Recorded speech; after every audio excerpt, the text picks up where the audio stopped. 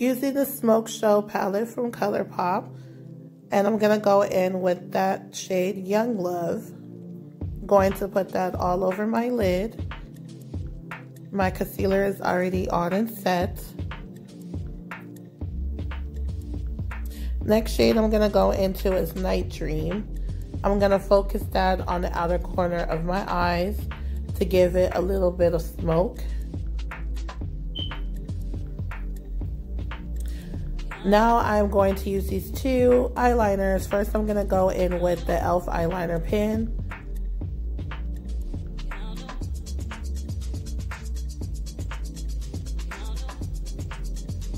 Then to form the wing, I'm going to use the eyeliner ink.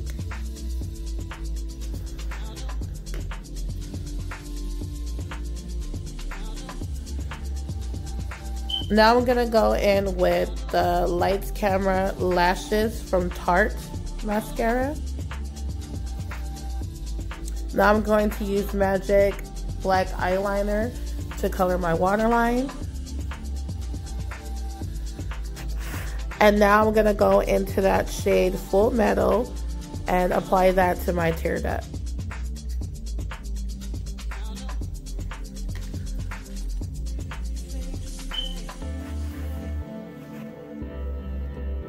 Now I'm applying the e.l.f. foundation palette, which is the shades Deep.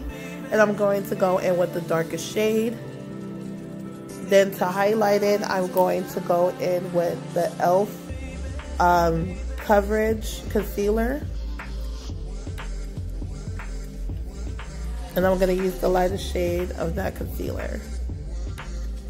And just highlight it because I feel like this, the deep foundation shade I felt like was a little bit too dark for my liking.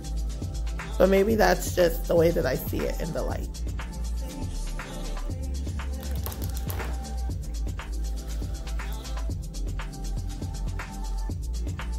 So now I'm going to be applying the Wet n Wild MegaGlo Highlighting Powder in the shade Royal Calyx.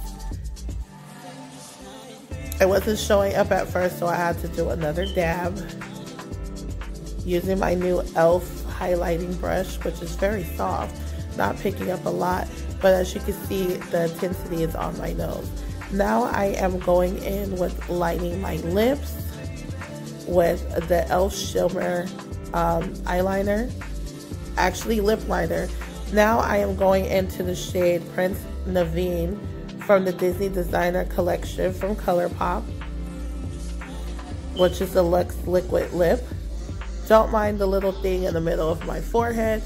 I was trying to do something new and I wasn't feeling it.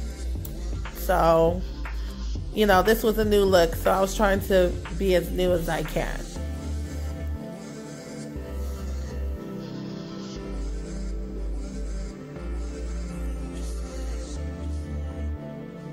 So this is as red as this lipstick is going to get. It's like a red orange.